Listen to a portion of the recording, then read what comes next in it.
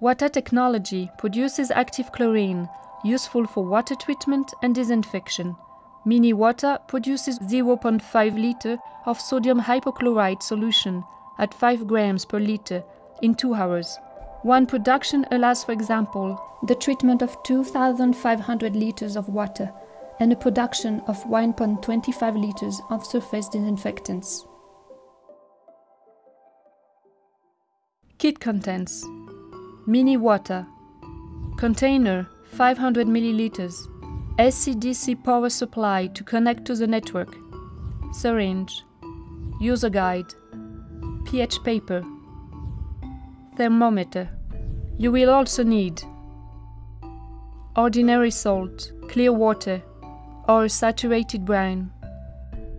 Funnel, logbook downloadable on the website, protective gloves.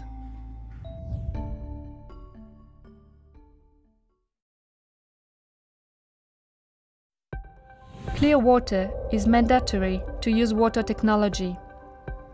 To ensure that you have clean water, please take the usual manual.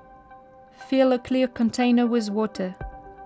You shall be able to distinguish, even faintly, the WATA logo.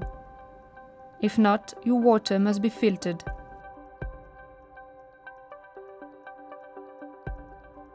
Prepare a saturated brine as a base for your electrolysis. Use a container of any size but never metallic and fill it with water. Add large quantities of salt, but half kilogram per liter. Shake it for 15 minutes to dissolve as much salt as possible, then label it and leave the solution to stand. Be careful not to agitate the brine just before use. Make sure that there is still salt at the bottom of the container to ensure that the brine is always saturated. To prepare the solution to be electrolyzed, take 40 milliliters of saturated brine and empty it into the graduated beaker.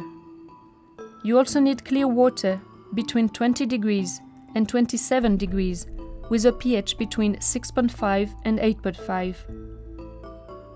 Add this water to the beaker until you reach 0.5 liter. Transfer your salt water preparation to the brown container for electrolysis and mix it. Plug the power supply into your electrical outlet. Plunge the mini WATA completely into the container.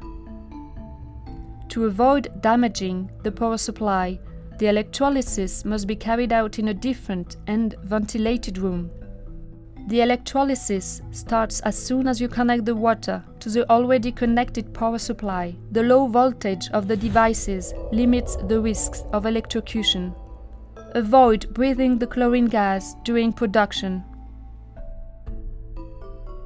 Don't forget to keep a record in the logbook. Note down the time and calculate the time needed to get 2 hours of production. After 2 hours, unplug the WATA to wash the mini WATA, immerse it in clear water. Never rub the titanium plates.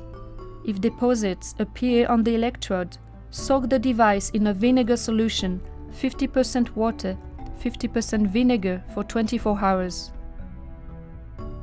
Store the chlorine solution in an opaque, non-metallic, clean, tightly closed container and label it with the production date.